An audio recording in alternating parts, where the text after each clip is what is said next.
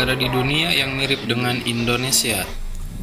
Madagaskar sebagian besar dihuni oleh orang yang mirip Indonesia, bahkan nenek moyangnya berasal dari Indonesia.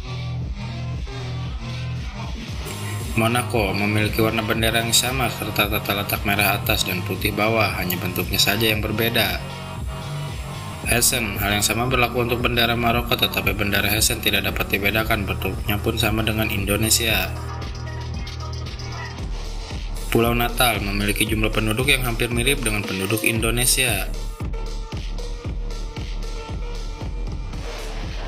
Kaledonia Baru, sebuah negara yang terletak di Samudra Pasifik. Uniknya penduduknya negara ini mirip penduduk Indonesia.